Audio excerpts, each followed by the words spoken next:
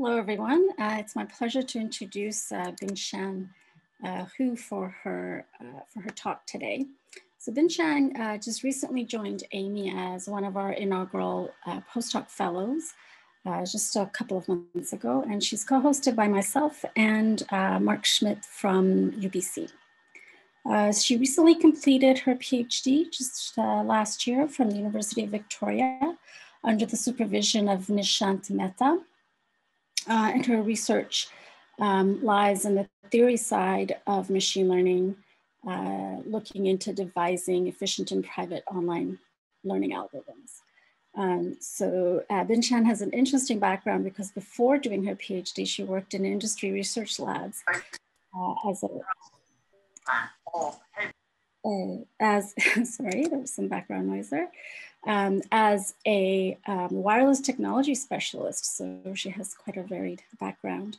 Um, and because of that, she's also interested in using online learning in novel applications in wireless networks. Um, and today she'll talk about regret bounds for differentially private Thompson sampling. Uh, welcome, Bingshan, and I'll uh, let you go ahead. Okay, thanks for the uh, thanks Nidhi for the for the introduction. So today I will talk my uh, recent uh, work about the differentially private Thompson sampling. So the very first thing is why so people are interested in privacy. So take myself for example. So uh, I interact with the internet a lot for very different applications in my phone. So I put all my health data record in the cloud and I do the mobile banking, use my phone. And also sometimes I submit my dental insurance claim uh, using uh, an app in my phone. And also I chat with my, my friends via the social networks. And also sometimes I use Uber to go to either campus or grocery shopping because I don't know how to drive here. So that means, so obviously, so the one that uh, uh, because I, I internet, uh, interact with the, the internet a lot and uh, for the companies that develop all these kind of applications, they have, have a copy of my personal sensitive information there, right? And they may use my personal information to do the data analysis in order to in order to offer better service for their customers. So obviously, I, I want them to to to keep uh, to preserve the privacy uh, of me, right? So that is why privacy is very important for, for us. And also at the company side, so privacy is also important. So I happened to read one article that uh, it, uh, article that according to a report in last year by an international law, law firm that a huge amount of fines have been imposed under the uh, privacy regulations. So that means, so if the companies uh, fail to comply with the regulation, the privacy regulation, when they do the data analysis, so they may be fined by the government. So that, but still companies need to use the data set, need to use data to do data analysis in order to earn profit. So when we ask why we cannot, I mean, remove the sensitive identification from the uh, of the individuals from the data set. And then the company can use this kind of sanitize the data set to do the data analysis. So the answer is sometimes, I mean, by simply removing the, the identifiable personal information is not enough. So there is one famous example for this kind of linkage attacks. So in 1997, uh, there is a MIT graduate student and uh, she could able to review the, the governor's medical records by combining two different uh, uh, sources of information. So why is a, a, a sanitized uh, data set, a public data set. And in this data set, so all the uh, identifiable sensitive information has been removed. And the other uh, source is that uh, by paying a small amount of fees, so the, the, the student can access to the voter registration records. And when they uh, when she combine these two resources of information, then she can review the, the medical records of the, the, the, the governor. So that is why we need to use some advanced techniques in order to preserve the privacy of individuals, right?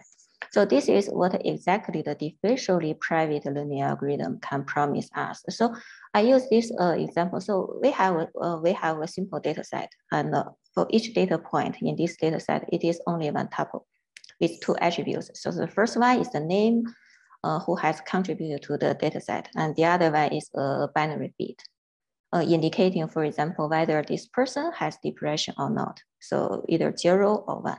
So the differentially private algorithm so guarantees that uh, so no matter the associated bit with an individual is one or zero, it basically uh, has almost no impact on the output of the, the learning.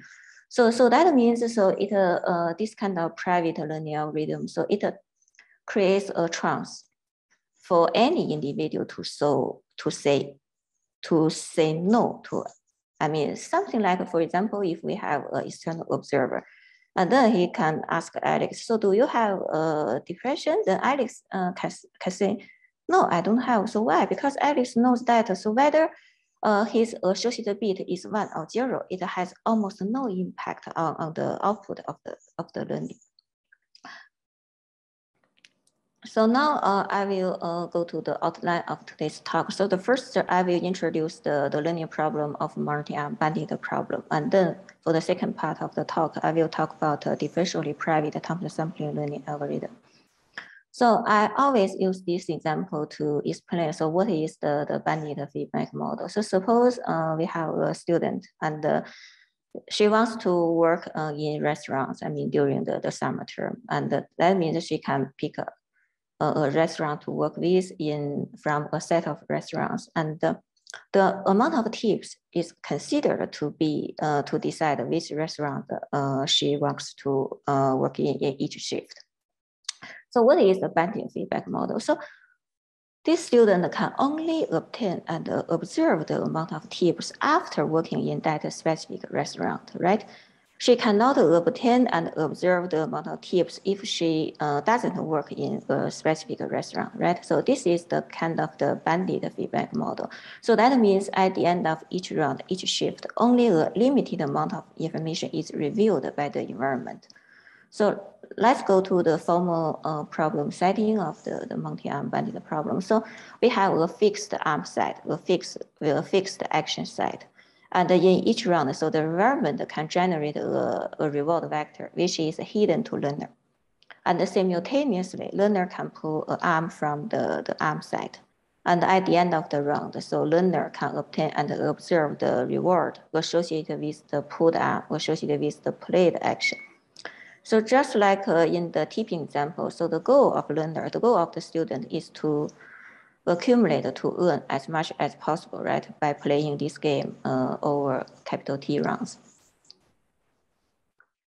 So uh, for the stochastic bandit, so so basically the rewards of a fixed app ID, uh, ID over time, and there are a few uh, assumptions and notations for today's talk. So I use I assume that all the rewards are Bernoulli. That means zero one reward, and use this mu j to the mean reward of a, a fixed arm j, and also assume that the the the best arm is unique, and the first arm is the unique best arm and use this j to be to be the mean reward gap. So so basically this the mean reward gaps measure the performance loss. So if learner fails to pull the best arm, so what's the performance loss in a single round?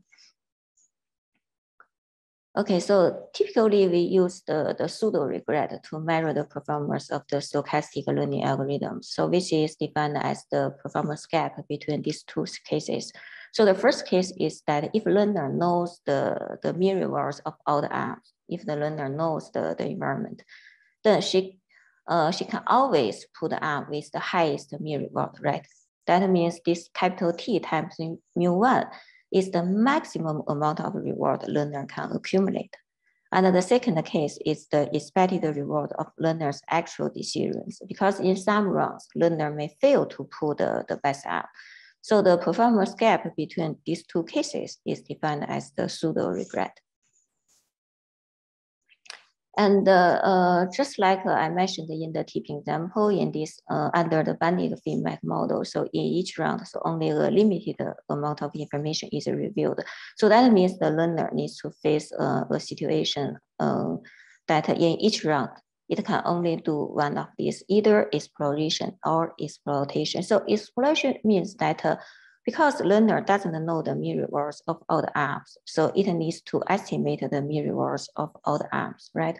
So that means in some rounds, learner test to pull the arms that haven't been observed, um, that haven't been pulled, pulled a lot in order to estimate the mean rewards.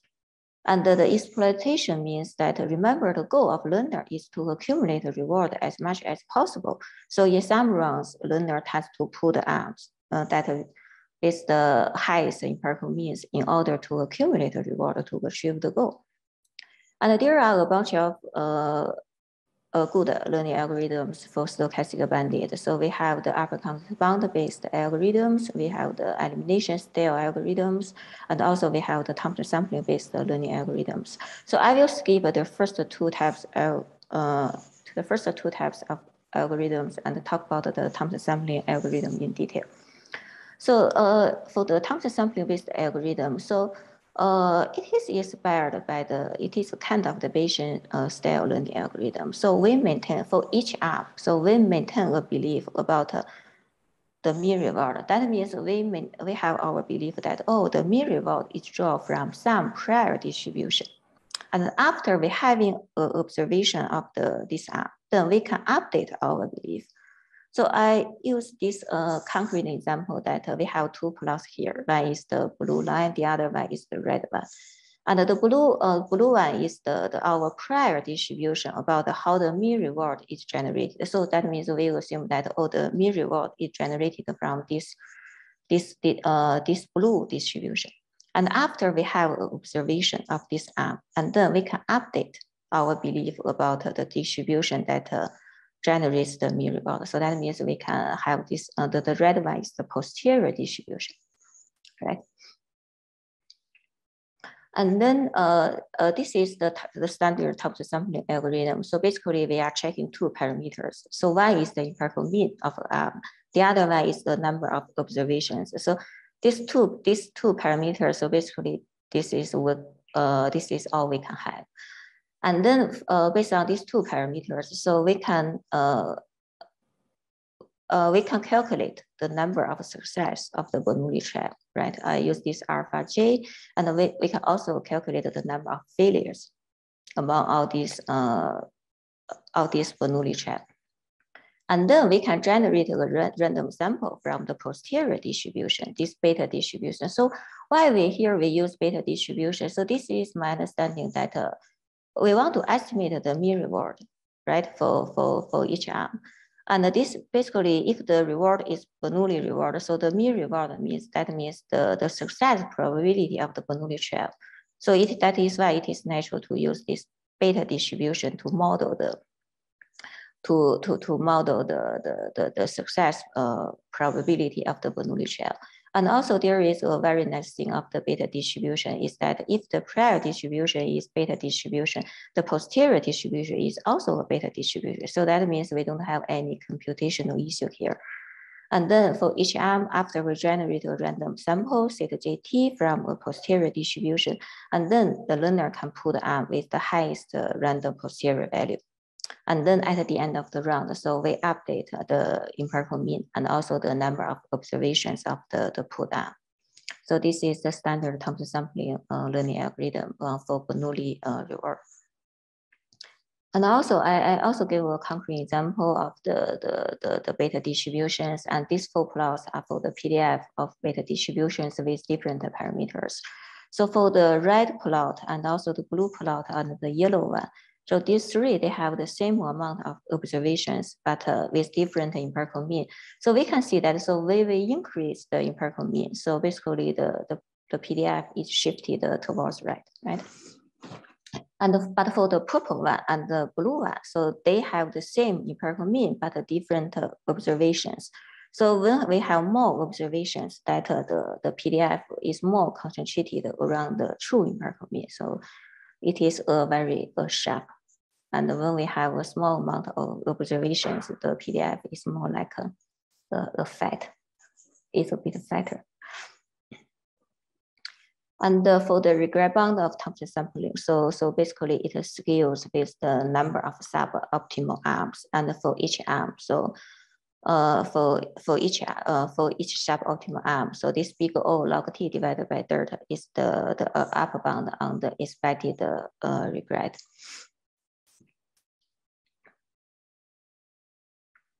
And now let's go to the second part of the talk, which is the differentially private uh, online learning. So so in the context of online learning, so we have a sequence of reward vectors that are inputted into the learning algorithm. And then the learning algorithm generates a sequence of actions, right? So uh, we say that uh, uh, we have a sequence of reward vectors from the first round until uh, up to round T. And we also have another sequence, we, we, we, have, we also have another sequence of uh, reward vectors. So the diff, uh, S prime, so the only difference between S and S prime is that they only, the reward vector only difference, different from each other in one round. Let's say in round R, the reward vector of the reward vector uh, of this, uh, sorry, the reward vector of S and the reward vector of S prime, they are different with each other. And then we say that this S and S prime, they are neighboring with each other. And for the differentially private uh, learning algorithm, uh, guarantees that so no matter the algorithm takes S as input, or the S prime as input, the output in terms of distribution stays almost the same.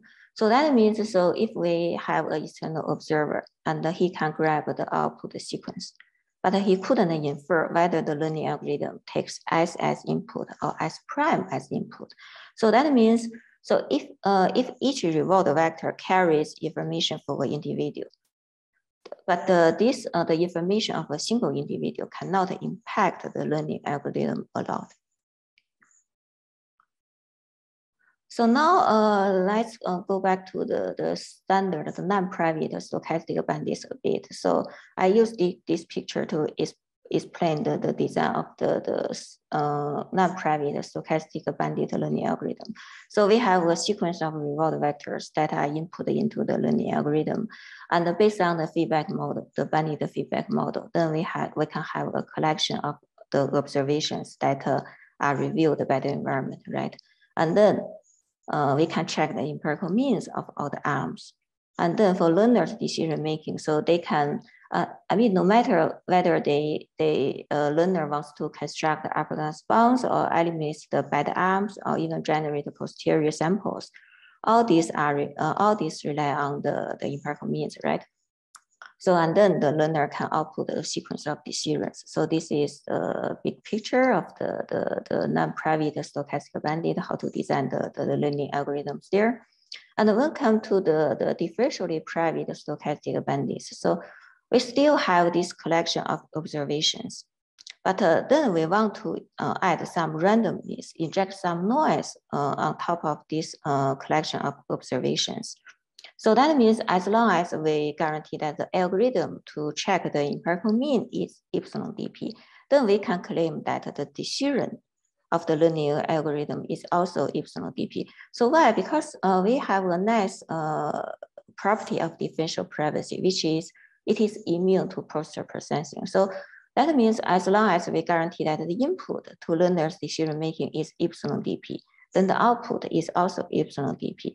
So the constructing applicant bonds or eliminating arms or even generating the posterior samples, these can all be viewed as post-processing.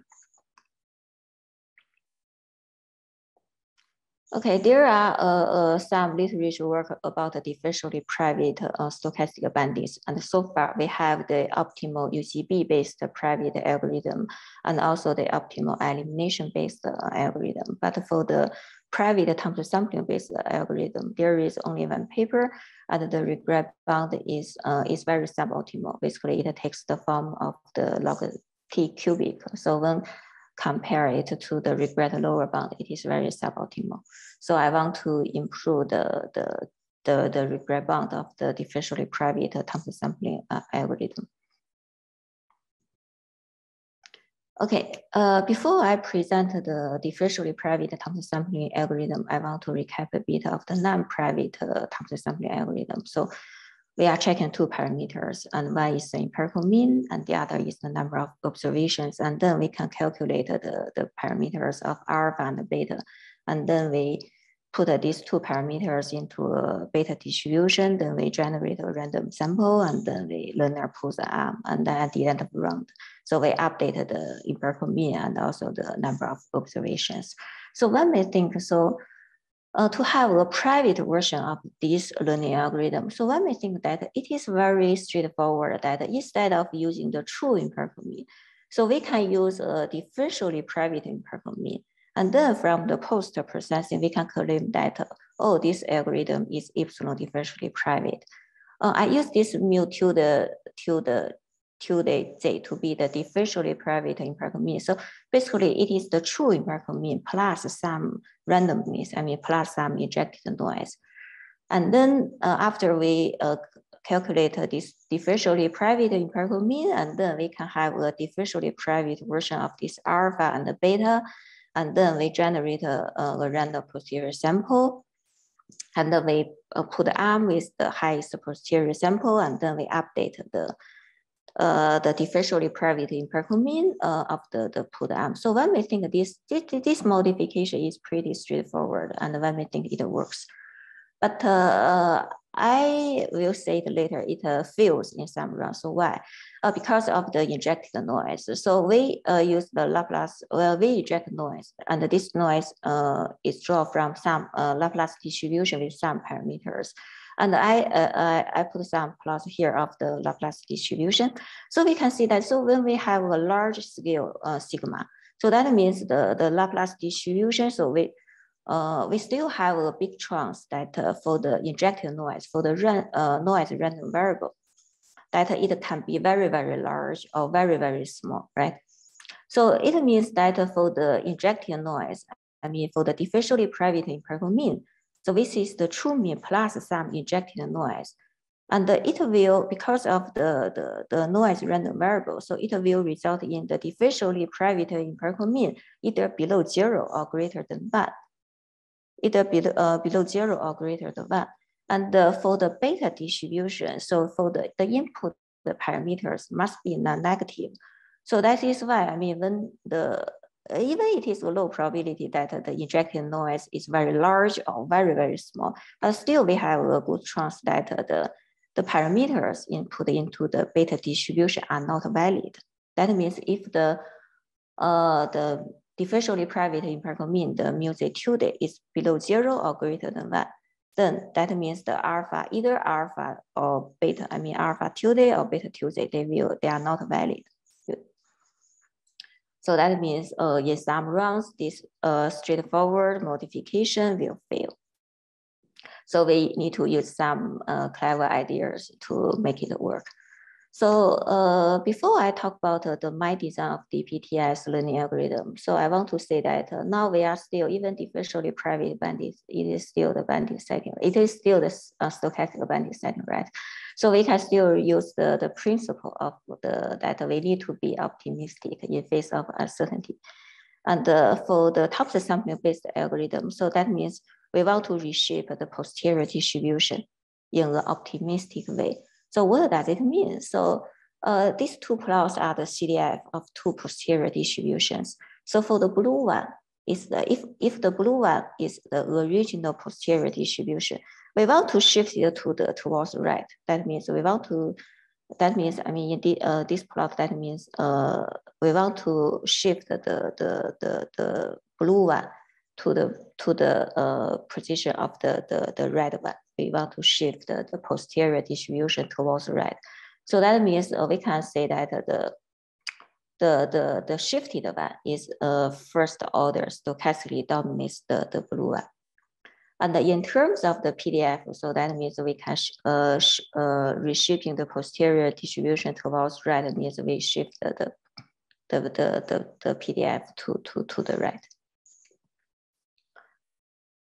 Okay, now let's come to the DPTS algorithm. So we are still checking two parameters. So one is the differentially private empirical mean. So basically it is the true empirical mean plus some injected noise. And uh, we also checking the number of observations. And then we can reshape the posterior distribution and also make the parameters valid. So what does it mean? So we want to uh, we want to add an extra term to the differentially private empirical mean. This is what uh, I call reshaped posterior distribution. Uh, and this extra term takes this crazy format. It is log the number of observations and also log t divided by the number of observations. I will talk about later why it takes this crazy uh, format. And uh, if the differentially private empirical mean plus this extra term is greater than one, then we want to round it to one. So that is why we have this mean here. Uh, if this differentially private empirical mean plus this extra term is below zero, then we want to uh, round it to zero. So that is why we have this max here. So basically this mean and max, uh, max want to make this mu z bar is in the range below zero, uh, sorry, it's in the range between zero and one in order to make the, the, the parameters that are input into the beta distribution valid. And then we can uh, generate a random sample and then play the, the, the arm with the, the highest posterior random sample. And also at the end of round, we can update the differentially private empirical mean of the put arm by using a hybrid mechanism. So later I will talk about uh, briefly about this hybrid mechanism. And from some the analysis, so we can claim that with a high probability, this mu z bar is no smaller than the true empirical mean. Uh, by the way, so the true empirical mean, so basically uh, can represent the, the true posterior distribution, right? And uh, I also gave a very concrete example about what uh, does it mean. So uh, we have this, uh, this is the PDF of two beta distributions and they have the same amount of observations, but with different, uh, with different input parameters. So we can see that, so for the for the for the blue one, so basically it's the true posterior distribution. And if we instead of using the true empirical mean, if we use this mu bar, mu bar, so basically we have the red one, and the red one lies exactly at the the the, the right side of the the the blue one. And in terms of the, the PDF, so that means we shift the, the also the PDF towards uh, right. Okay, for the regret bound of Thompson sampling, so uh, it uh, takes this form. So it is uh, still scales with the number of suboptimal actions. And for the for the regret, so we uh, for the for the for the regret, so basically it is uh, it is the max. Uh, it takes the max max between these two terms. So the first term log t divided by sorry, the first term log t divided by by delta. So basically it is the, the regret we need to pay in the non-private setting. And the second term uh, highlighted by blue is the price, uh, is the regret uh, of introducing differential privacy. So when we compare this regret bound of DPTS to the regret lower bound, so we can claim that it is optimal, but up, up to an extra log log t factor, right? But it still significant, significantly improves the existing log t cubic regret bound.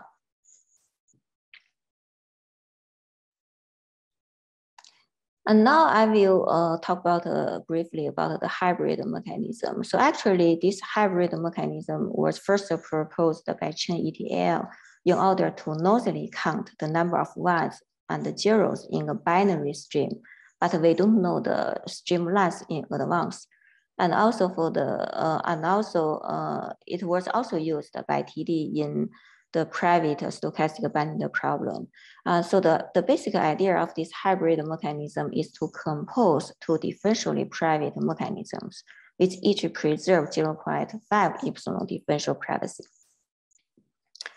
And uh, in, in the context of this, uh, the, the stochastic bandit, the differentially private stochastic bandit, so so that means uh, we want uh, we have these OJT minus one observations in total, right? From the, the beginning until the end of round T minus one, we have this amount of observations. So by using the hybrid mechanism, so when we want to calculate the differentially private aggregated reward of all these observations, so we want to partition all these observations into two groups, into two subsequences. So the first two to S observations, that means from observation one up to observation two to S. they are taken care of uh, by a mechanism called the log mechanism. And for the remaining observations, they are taken care of by a mechanism called the binary mechanism. I will skip the details of the log mechanism and also the binary mechanism during due to the time constraint, but I listed the key, uh, key facts there. So for the log mechanism, uh, when we want to calculate the, uh, the aggregated, uh, differentially private aggregated uh, rewards of all these two to S observations that uh, we have exactly S plus one noise random variables are injected. And each noise random variable is drawn from this uh, Laplace distribution. And for the binary mechanism, so when we calculate the differentially private aggregated reward, so we have at most S plus one noise random variables, and each is drawn from this Laplace distribution. And then if I use this calligraphic Y to be the aggregated injected noise by hybrid mechanism, and then we can have this inequality. So that, that means, so it is a low probability event that the total uh, injected noise is beyond this constant times log the number of observation log t divided by epsilon. So this is why this crazy uh, term, I mean, when we compute, when we compute this mu j bar, I mean, the, the crazy term uh, takes this format because we want to add this extra term in order to cancel the impact of this injected noise. And then for the last part of the today talk, I will give the proof sketch of the, the regret bound. So, so the very first thing is to identify the right sample complexity uh, of a suboptimal arm. So I, I use this calligraphic LJ to, to be the, the sample, sample complexity of a suboptimal arm J. And for, there are also two terms in the max. And the first term is basically the sample complexity, even for the non-private setting. And the second term is, uh, is the sample complexity of introducing differential privacy. And then we can take the, we can do the regret decomposition. So uh, basically all the capital T rounds can be separated into two regimes. So the first regime is that uh, if a suboptimal arm J hasn't been pulled, ha hasn't been pulled enough times, and the second one is that if the suboptimal arm J has been pulled enough times, so what's the probability that learners will pull this suboptimal arm again? And then uh, I have two claims. So the first claim is that for all, for all arms, including arm one, so it is a high probability event that this mu j bar is no smaller than the true empirical mean. So that is means we want to shift the posterior distribution towards right.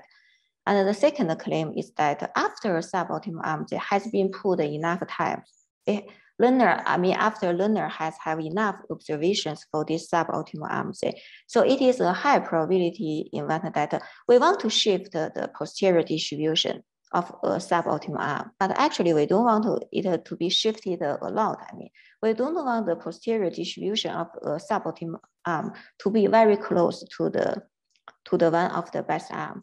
And for the second claim, it uh, guarantees that it is a high probability event that uh, this mu j bar is smaller and equal than the true mean plus full delta z divided by six. So that means we will still have a small distance. I mean, after, even after we shift the posterior distribution, we still have a small distance between the one of the, the, the best arm. And then we can we continue decomposing the regret that we put these two high probability terms, high probability invest in the probability term and the, the O1 term basically uh, it is summation of all the low probability events. But so far we haven't used the, the posterior random sample yet, right? We haven't used this certain ZT yet. And then we, we have already introduced a cutting point, the mu j plus 4 delta j divided by 6. Now we introduce another cutting point, which is mu j plus 5 delta j divided by 6. And then we can continue decomposing the regret by that whether this theta jt is drawn inside in the interval between the mu j plus 5 delta j divided by 6 or mu 1. So that means we can uh, decompose the, the, the the probability term uh, into two terms. And for the first one, actually, by using the property of beta distribution, then we can we can claim that it is upper bounded by O1. And for the second term, so the proof can be reduced to the non-private setting, and it is upper bounded by uh, big O log t divided by delta z square. So uh, I will skip the details and only give a concrete example of uh, this one, why it is upper bounded by a constant. So I use this example. So we have this mu j equals to 0. Point, uh, sorry, 0 0.2. And we have this, uh, the mean, sorry, the mean reward of the suboptimal arm J is 0 0.2. And the mean reward of the best arm is 0 0.8. That means the mean reward gap delta, uh, the delta Z is 0 0.6. And let's say we have this mu J bar is 0 0.55. So then I, I plot the, the PDF of the, the beta distribution of this suboptimal arm Z. So we can see that, so it is very, uh, it is very unlikely that this theta ZT is drawn beyond this 0, point, uh, 0 0.7, right? So it is a very low probability that this uh, theta ZT is drawn beyond this 0 0.7. And uh, now we still, we only have one part left for the proof sketch. So this is this part. So I also put this uh, this theta 1 t smaller and equal than theta zt because when in a round t, so when a suboptimal arm j is pulled, so that means the posterior sample of the best arm must be no, uh, no greater than the one of the suboptimal arm j. Otherwise, learner will not pull this suboptimal arm j. So now for this part, so for the proof, so we will use the, uh, this one, the, the property of the, the, the first order stochastic, uh, stochastic dominance. And then we can have we can have the ratio of the probabilities. We can have the ratio of the probabilities of the shift posterior distribution is upper bounded by the ratio of the probabilities of the true posterior distribution. And then by take a good amount of work, and then we can uh, reduce the proof to the non-private setting. And then we can reuse the, the lemmas in the analysis of the non-private uh, sampling. And then this this part uh, is upper bounded by big O log t divided by delta z square.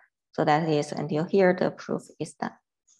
Okay, now let's conclude about uh, today's talk a bit. So, so far, so by using the hybrid mechanism, so we can have a near optimal uh, learning algorithm for the private Thompson sampling. And actually last year, we also devised the, the, the first optimal UCB-based algorithm for the, the differentially private uh, stochastic bandits. So the key idea of uh, behind this UCB-based private algorithm is that we use the, the idea of forgetfulness. So that means when we calculate the differentially private empirical mean, we don't use all the observations obtained from the beginning. We only use a part of the observations so that means we drop, we forget uh, some observations. So by dropping the observations, so we can control the amount of uh, noise random variable. We can control the amount of noise random variable when we're computing the differentially private empirical mean. We want to limit the number of noise random variable to one.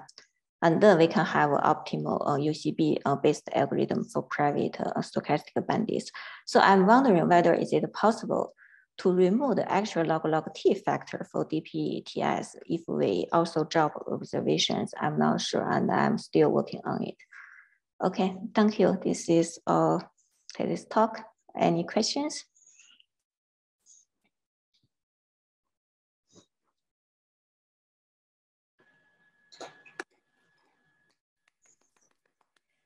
Thank you, Bingshan. So thank you for your very nice talk. Um, I'm gonna ask if anyone's uh, in the audience would like to ask any questions or have a discussion.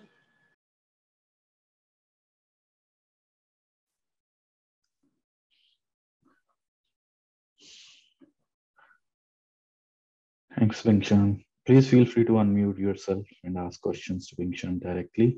Or if you uh, don't want to ask the questions directly, you could put them in the chat box and we'll, I or Nidhi can read those for Bingshan.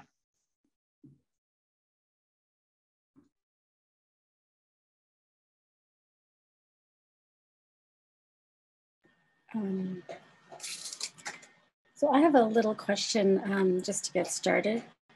Um, can you go back to um, what kind of noise you're drawing um, at each arm pull?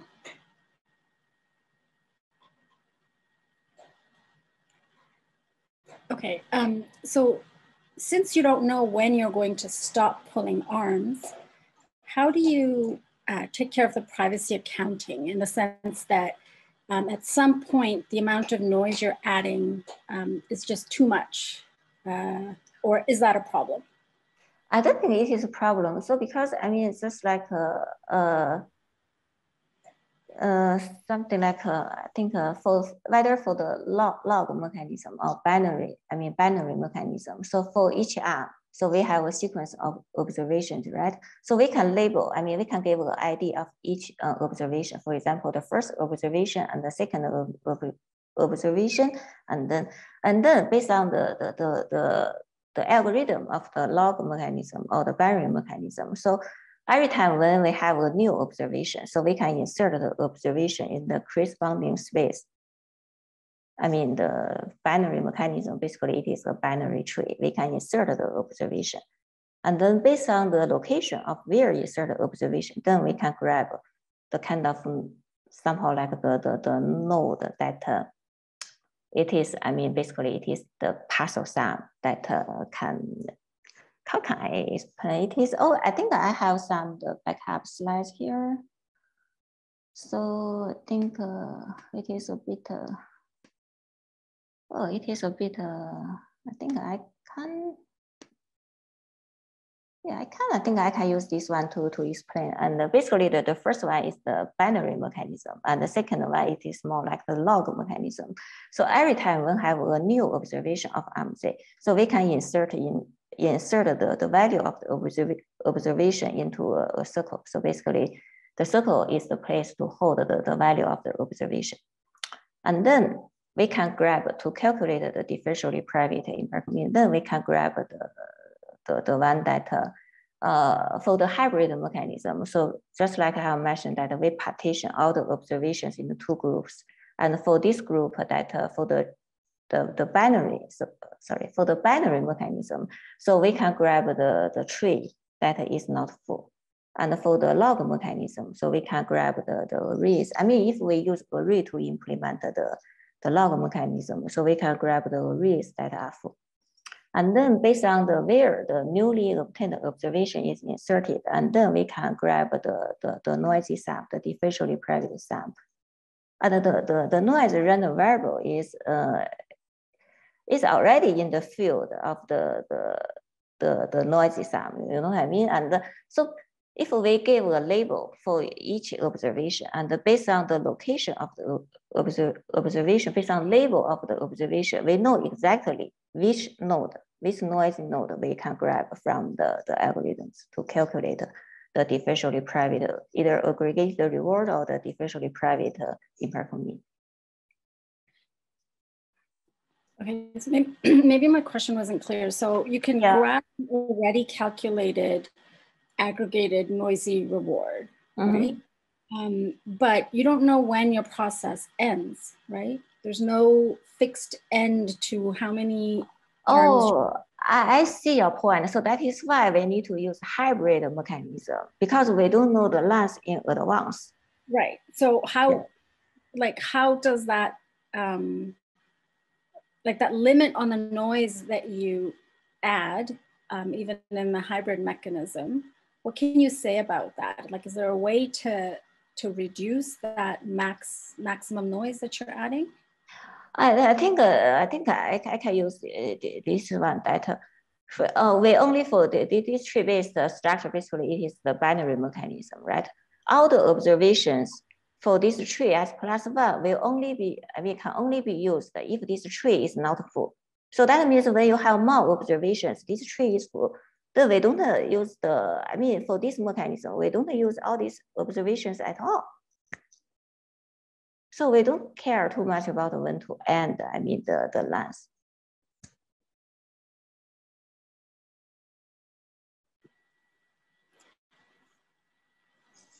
Okay, thanks. Maybe we can continue that discussion. Yeah.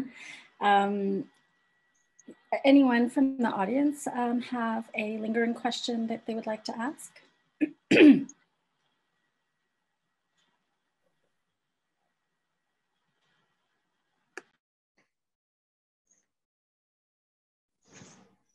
I don't think we have any questions in the chat, so feel free to jump in, anyone. Or if not, we can always end a few minutes early as well. Give everybody 10 extra minutes to their weekend.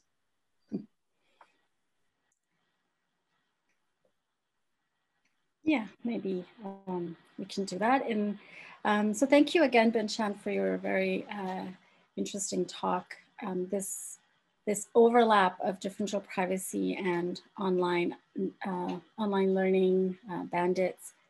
Um, there isn't a lot of literature out there on it, so it's uh, really nice to see um, some nice work that you're doing on that. Okay. Uh, thank you. There is Thank one. you, Bingshan. Thank you everyone for coming today and to Nidhi as well for introducing our presenter and helping moderate. And um, we will see everybody hopefully soon. Have a great weekend, everyone. Thank you. Thank you, everyone. Thank you, Bingshan. Thank you, Nidhi. Thank you, Sabina, for hosting today. Thank you so much. See you next week. Bye-bye.